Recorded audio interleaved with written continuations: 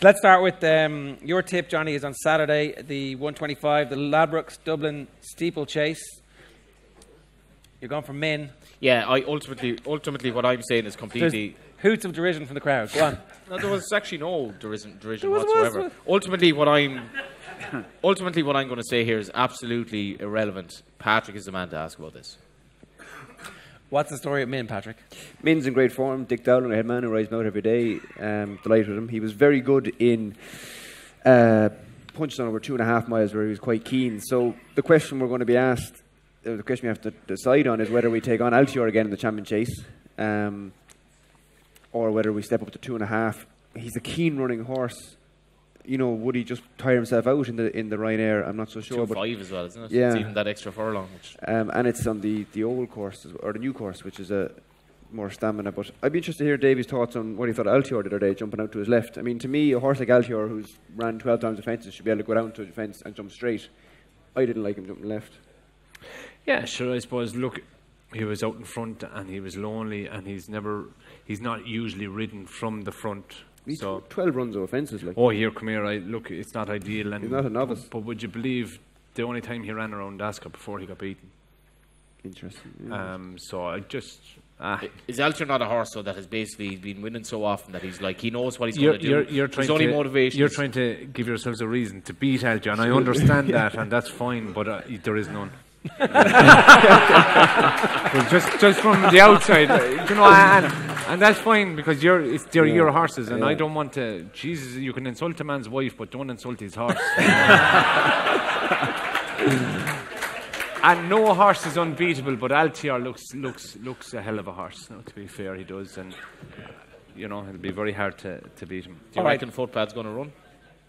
I don't know. Sure, look, um, Willie.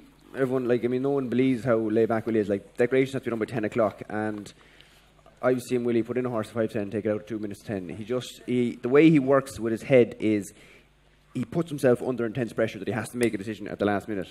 Um, like he doesn't. Most trainers have their decorations done by half nine. Willie doesn't even look at them till about quarter to ten. He has to come in from first lot, sit down, decide whether he's having marmalade or jam, um, have his toast, and like if if Min is lame, like it can wait till he's finished his toast. Um, breakfast is just the most important meal of the day for the man. And myself, David Casey, and Ruby are pulling our hair out. and, Like you know, we've we've 56 horses entered here tomorrow, Willie, and um, we could really do with some some help. I think at Uh, the moment Min is five to two. Um, I would strongly suggest just from the vibes I'm getting from the man beside me, should back Min at five to two. We could go off an awful lot short on that. All right, just a reminder that we do have a 100 euro charity bet for the Irish Injured Jockeys Fund, courtesy of the Tote to put on the Dublin Racing Festival. Our winnings to date stand at 1,485 euros, stubbornly. Is that Yes, sir. each? Is that 100? 100? That for one, we're going to go for Min at 5 to 2. Would Tote not kind of cop themselves on a small but give on? Is there a representative from Tote here, is there? I'm not going to shine a spotlight into the crowd, but we might have. Give us 100 euros each, surely.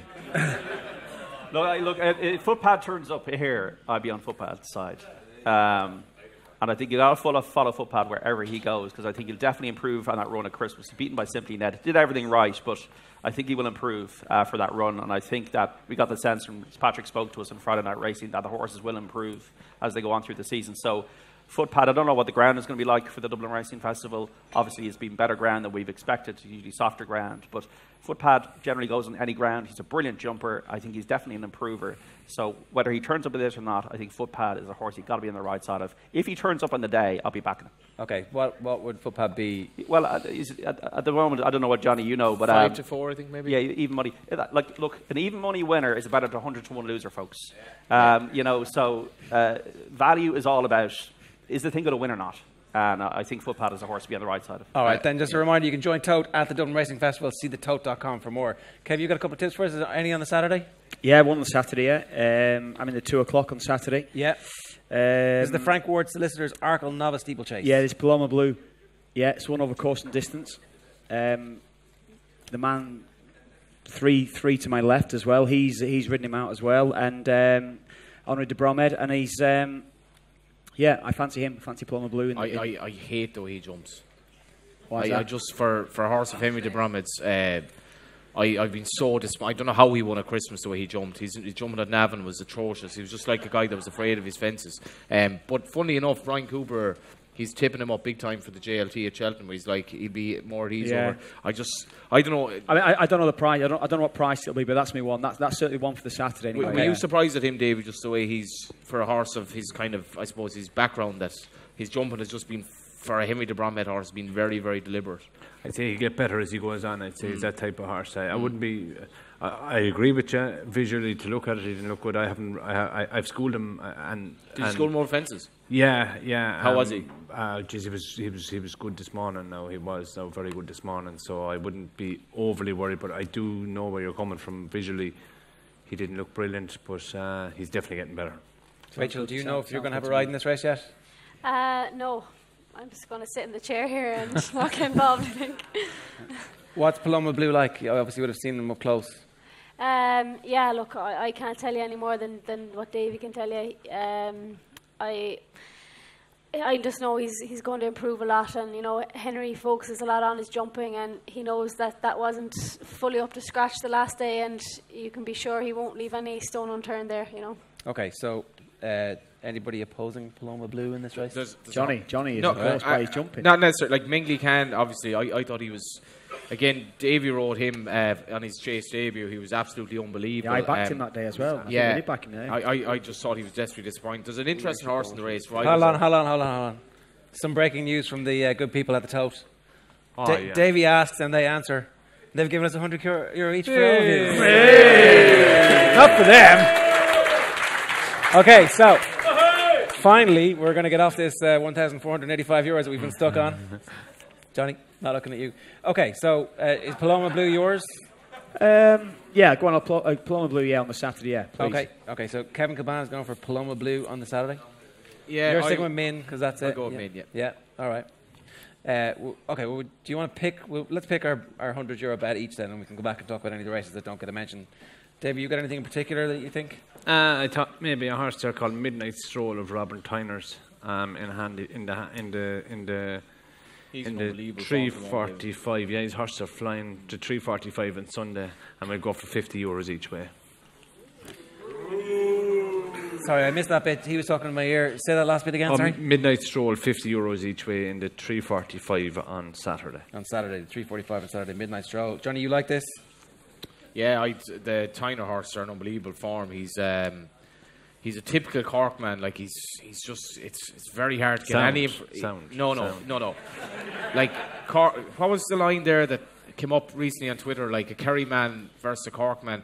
Kerry man goes like the Cork man is the lad who'll go into the revolving door behind you, but somehow he'll not be out in front when you actually get to the, the end of the door. It's like Cork lads will tell you they have so many versions of telling you something, and at the end you're like.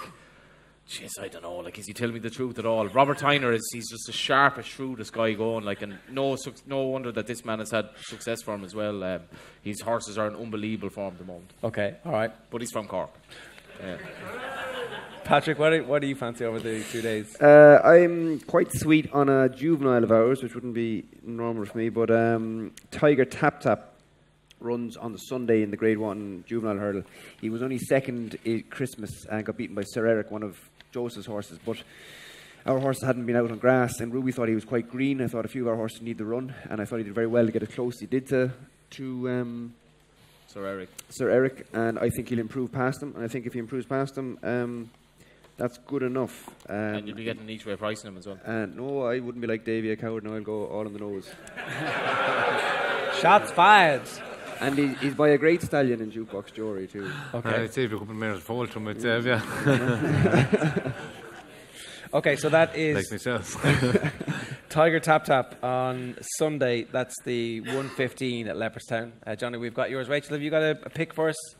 Um, I know Petit Mouchoir is going to improve a lot from his run the last day in Leopardstown, and he'd be a, a 50 euro each way bet as well, I'd say. Okay, so which In race the, is in the BHP Irish Champion Hurdle. Okay, that's on Funny Saturday. enough, what race is The, the BHP Irish Champion Hurdle. Do you know anything about BHP? Ten They past might, three. They might sponsor. What company is that? yeah.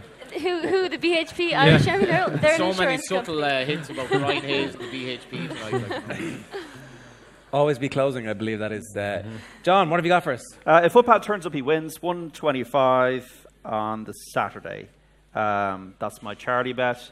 If he doesn't turn up, there's a, there's a race. I think yeah, I think Patrick said there that race Sir Erec would. I thought that was a good race at Christmas because I saw nearly every bloody one of them, um, which is obviously the point. Um, Castlebawn West. eh, I don't know where he's going to run, but I think he was a horse that uh, was in a good ding dong battle with the big dog, and the big dog won today. I think the form has worked out. They were well clear of the remainder. I don't know Patrick where he'll go, but I think he's a horse to follow. Would you agree? Yeah, he's, he's improving all the time. Uh, I don't know where he I don't know where he go. He's into two six uh, grade one, I think, and he does look a stayer. Um, he, so he's improving away. I managed to get him beat in Clonmel. I have to ask you about that because Patrick went around like the tour of like the, the tour of Ireland basically that day, and people were like, I think Matt Chapman again. He was like, second horse should have won, and I was like, well, Patrick legitimately looked for the better grounds. Yeah, I think I should have won the race, but not because I went, I went wide for nicer ground, which it was, and um, but your uh, challenge too long. um, yeah, it was his first time over hurdles, and I rode him to get over the second last and then race, um, which when a horse first time out makes sense, but it's too short a run in Clonmel to do it. Um, so it was just it was experience. I won't make that mistake again. What did WP say when you came back in? Uh, he didn't say anything actually, and that's Oh. that's when you know you're in trouble when he doesn't say anything. I'm not angry. I'm just disappointed. Come here. When you said that you could uh, hear Matt Chapman uh, saying that uh, Douvan was drifting like a barge, is that because the TV is on in the weigh room, or you could actually right? No, it's on, on the way. room. All right. And does nobody think to turn the thing down, just like, know, yeah, or yeah. is it like psyching each other out, going, oh, Or would you be have more sense maybe than listen to it? I, I think psychologically that's interesting because the, the horse did drift partly because it was an amateur riding him in a champion chase. It's not but- Ruby Walsh. Yeah, well, whether you like it or not, like it was Ruby Walsh to Patrick Mullins, and I had a right good bet on him because it was like Patrick's riding him, but that doesn't mean he should be six to one. Like this horse, apparently, you know, his work is fine, um, and you know, obviously he lost, but I was like for much of that race, I was very happy. It, was, it wasn't like Patrick was that much of a handicap because like he's well able to ride. yeah. Thanks, Johnny. But it was like two to one out to six to one. It He'll was come on the show again, honestly. Yeah, I tell you. Patrick's been one of our more regular guests. and it's all over now. Do you have another tip for us, uh, No, I got one. Yeah, on, on the Sunday, the three o'clock on Sunday, uh, bottom horse uh, La Bague Au Roi, uh, which is um, Warren Great. Warren Greatrex, whose horses jumper. are absolutely Yeah, so going left, yeah. right, and centre at the minute. Actually, yeah, uh, just just a, a, a little a Ah, little she's one a for Sunday. filly. Yeah, a little one for Sunday. it's Yeah. not the form, is it? Okay. Yeah. She won the incorrect. um, she won the uh, novice chase at Kempton at Christmas. It was a great race. To win in, in Newbury as well, she's she's a good filly by that one. She's Great she's jumper. everybody. well held in third. Yeah. Hell, of, hell of a run. Let's just go into a bit of detail about two more races, and then we'll wrap this up. So, um, the BHP Insurance Irish Champion Hurdle. We've already had a tip for Very BHP good company, is for? Petit Mouchoir. Yeah. What do they do? B what? Rachael, Um, you might want to talk about BHP. So look, this this is a race that obviously uh, people are going to recognise the names: Faugheen, Melon, Petit Mouchoir, Samcro, Sharjah, Supasundae, Tombstone, Farclas, Saldier, Apple's Jade, Laurina, and uh, Apple's Jade goes here, which is the int- really the interesting one, isn't it? She's the lay of the festival for me.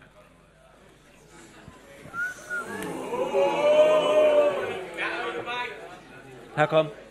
Um, she jumps right. She's not going to get away with it over two miles. Uh, I will, subject to me emigrating in a couple of weeks, I will lay her uh, in the smoking area. Um, I will lay Apple Jade. I think she's. I again, And, and play for a bit of you dice. smoke? again, again. I'm interested in your view on what's going to run from the Mullins camp. Though. Yeah. Laurina won't.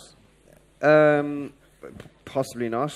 Uh, Steve Dem won't, won't run around on fence today. Faugheen, it's day by day. He was very stiff and sore after Christmas. He was very lucky. He was very, very lucky. Um, so he's, he's back riding and he, he's riding away, but we haven't uh, pushed any buttons yet. Melon will turn up here. He, he will strip a lot fitter. Um, it's funny how sometimes when you see a horse home, you think they look fit, and then you bring him to the races and you see them with a racing saddle and a number cloth on. And I looked at him in the parade ring and I thought, the size of him. Um, and he's after getting some hard work at home now. Um, That's hugely significant information. That horse is four to one, five to one each way, and he's not going to be out of the tree. Like he's he, he's going to strip a lot fitter, a bit like Rachael said about Petit Mouchoir. Sharjah could come here, um, but Willie did say he might go to, straight to Cheltenham, so not quite sure. And Laurina, I don't know. how good is Laurina? No one knows. But you can't say that. You cannot say it. the Like- work rider has a fair idea. Yeah, Rachel Robbins, writer, but like, yeah, like I've seen Ruby ride horse up the gallop and say this is a machine, and then they're no good. So like, it, that, it doesn't quite add up all the time. But her work at home is very good. The thing about her is she stands out when you see her. If you see, if you can see her in the flesh, she's an absolute beast. I mean, she makes Annie Power look small. Annie was a big mare. Um, you would, you would pick her out in the string. Um, like, look, all she's done is beaten novice mares. So you see the difference between Samcro beating novices going up to stepping up against the big boys. Um, so she's only beating novice mares, so she has to step up hugely. Could she? Yes. Can you say she definitely will? No. So I'm as interested as anyone else to see how good she is. There, there are 12 runners in this race at the moment, and if you back Melon each way, you'll rock up in the day with the three each way places on a horse that'll be challenging, I think, Applejade for favours, or certainly thereabouts. Okay, so that makes sense from this point. You're going to swap your in bet then, no? Um, I, I think it's right up there with Min, Min and an each way double on Min and Melon. Can't go wrong. No, actually, don't let Johnny back our Melon as well. Do you want to lay me, do you want to lay me Min That's and the tip. each way? Yeah, okay. And then the other thing we've got to talk about really in, in some detail here is the Unibet Irish Gold Cup goes to post at 3.35 on the Sunday. And again, this is a, an outstanding field of entries at the moment. Um, we hope that loads of these stand their ground. Johnny, what do you like here? Uh, we talked about Presenting Percy He's not going to run, um, and in fairness to connections, Don't it out, John. Don't rule it out. he's absolutely no chance of running um, in this race. Um, Davy might, might have been vaguely diplomatic, but no, he won't run in this, and he'll go back to Gowran. Um, I'm a massive fan of Road to Respect. Um, I think race tactics the last day were very, very critical to the victory of uh, Kemboy. And uh, I think Road to Respect is slightly underheralded. He's, uh, again, he's another, geez, this each way treble is going to be quite remarkable by the end of the night. You've Road to Respect, Main and Melon each way. Road to Respect was very, very unlucky in the race at Christmas. He was he lost so much ground twice in that like uh, basically his, his run was his momentum was completely checked and the guts he showed to nearly finish second um, he, I can't put CMB in the first three and run a big big race and he's my idea of the Gold Cup winner if presenting Percy doesn't do it but uh, I, I think he's a great each way bet here Okay, so that's uh, road to respect. What do you say in a hypothetical situation where presenting Percy didn't make this race? What else do you like? Oh, it's a hell of a good race. Um, obviously, Al Boum Photo's uh, form is franked uh, usually today with uh, invitation only. So, that, uh, and obviously uh, presenting Percy. So he's a high class horse. Um, just again, uh, Rachael will tell you more about him. But Balko des Flos, uh, he is in some order. Um, he ran a big ra- race, had a great run in this last year, this race last year. So I wouldn't rule him out if the ground was dry. Um, and again, you're not quite sure what's going to turn up. Um, and um, um, you would have to say that, that, that visually looking at the race, the last day, to Respect did look unlucky. But really, at the end of the day, Kemboy has a lot of ones behind his name, and um, I would you'd have to kind of stand and look at it. And uh, he's a very talented horse. Um, he got it all right. He put it all together at at the top end the last day. And to be honest, it wouldn't surprise me if he improved again for that experience. So I, I, think Kemboy would probably will be favourite and will justify it. But it wouldn't surprise me if Al Boum Photo or the likes of Balko des Flos would get a little bit closer to him. Um, when you're on a horse that's won over course and distance, do you notice the horse feels more comfortable in the race? Is that what it is, or what? Yeah, I think once a horse has a pleasant experience of a, of, of a race course, I've often stood in the yard in Cheltenham and watched horses come down off the lorry that had been there before. And you could nearly see it on their face to be begging you, can you please put me back in the lorry? I don't like this place. and you can see horses coming down off the lorry in Cheltenham, or different. Uh, no, I wouldn't see them as much in the racecourse in Ireland because we'd be coming, but in Cheltenham you get to see them because we're in the yard, and they'd grow a hand. You know what I mean? They'd grow an inch um, when they see where they are, if you know what I mean. So I would. It definitely does have a factor to play. A course and distance. It makes sense, doesn't a huge. I think it's a huge. Um, it's a huge. Um, part to play in a horse. Um, if a horse has a bad experience in the track, Come I here, is there question. is there a possibility that horses like don't have a great experience but actually get used to something? The other, uh, maybe Uh, they, they, they do definitely. Uh, uh, again, you see, it all, it all, it all has its own thing. There may be horse is reason. individual at the end of the day. Yeah, there may be reason. Like, look, um, um, so. You don't ride off a horse just because it has one bad experience no in a track. No, no, it has to be a consistent flow. Like if a horse, Some some horses some horses do, but it's like a fella getting a, a, a smack in a, a hurling match. Like Yeah, you know, some some fellas lie down, some fellas get up. Yeah. Um, But every horse is different. They, they, they have different personalities. Some horses don't mind getting getting knocked, they get back up and win the next time out. Or some horses might take them. Kevin will tell you there about marking lads in a match. Mm. Like to some, I'd imagine you I wasn't a great marker. No, but but I'd imagine you'd go to a game and and you would say, "Oh, jeez, not him again. He's going to stand on my toes. He's going to pull me shirt. He's going to pinch me under the arm. Like, I'm Cesc not just, Fabregas. just not Kevin, Mu- Kevin Muscat. uh, but I'm not just this, you know. And then you go into your shell, or you go to another game and you say, "That bastard got me the last day. He's not going to do it Yeah, again yeah. today." You know? And you raise your game. Yeah, so yeah.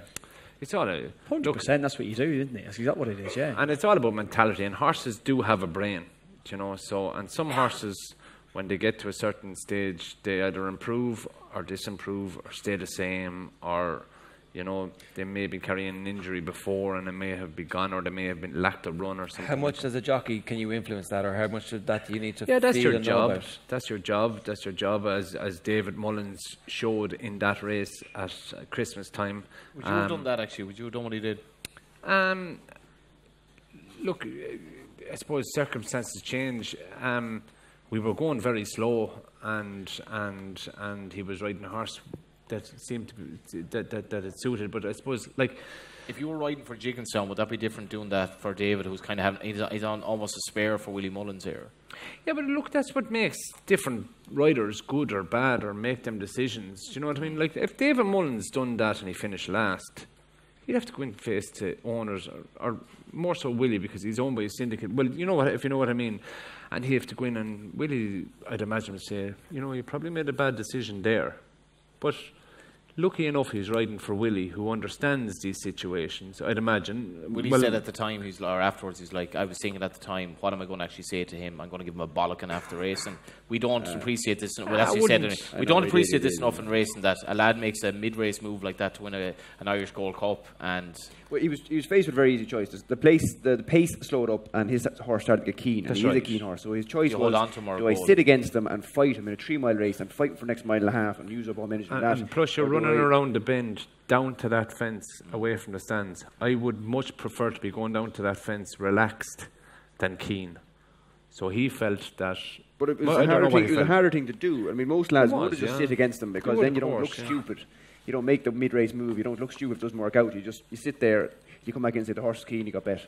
And David, uh, he has this bit of a devil may care attitude, and it works against him sometimes. It works for That's him right. other times.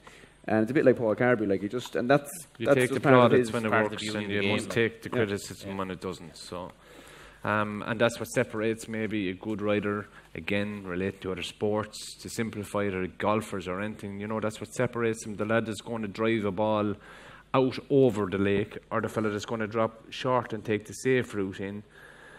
It's like Zidane Of having the audacity to 99 dink the ball off the bar in a in a in a in a final, um, in, off a penalty, and just say, "Yeah, I'm going to do this." and then headbutt a fella. Exactly. But ni- That was- that was Materazzi's 99 times out of, out of 100, the ball will land in the water. And the one time it lands on the green and you win the Open, then you're a hero. Yeah. And if they forget about the 99 times you dropped it in the water. And it was worth it. It was, abs- it was yeah. absolutely worth it. Uh, okay, so John, what do you like in the Gold Cup here? Um, I like Kemboy because it's all about NKOTB, New Kids on the Block. Um, so Does anyone remember them? Who are they? I'll take that, fans in the audience here. Um, so, Clan des Obeaux won the King George, one of the biggest races of the season in uh, in steeplechasing at Kempton. Six-year-old, Kemboy six-year-old.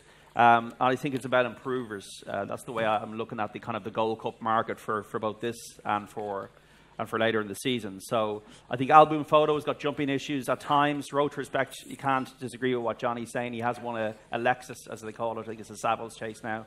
Um, so he likes course and distance. Um, Monalee, I like as a consistent horse, but always tends to find one too good. Anibale Fly, not so sure if he needs a few more pounds to be a graded horse. Waiting, waiting patiently, he's never won over three miles, even when it comes over from uh, the UK. So, Kemboy, uh, I like the way he finished his race last time. I think he's an improver, and I'm with Davy as well. But I think Davy is, is spot on about Balko des Flos as a horse I really thought was impressive at uh, in last season's uh, Cheltenham Festival. Um, he's run well at Leopardstown before, and I think Balko des Flos, once again, Henry de Bromhead is a great trainer of chasers and getting them to jump. So I think um, Rachael might back me up on that one. Yeah, I'd uh, love to be able to get the same tune out of Balko as Davy did. Um, he didn't run didn't run well over Christmas, so he'll need to you know need to come on from that. So, uh, um, but he's you know w- well capable of doing so. Lads, great stuff. Thanks very much to everybody involved here. My thanks to everybody involved in putting this show together. I want to uh, particularly thank our guests tonight Patrick Mullins, Rachael Blackmore, Davy Russell, Nicky English, Emma Doyle, my co hosts Kev, Johnny Ward, and John Duggan, the Sugar Club for hosting us. A particular thanks to everybody at HRI and uh, Barbara White for helping us put this together, to everybody on our team for putting this together as well, to uh, Sue and to JP and to JP never puts his own name on the, uh, but that's JP. Everybody over there, you can give him a big round of applause.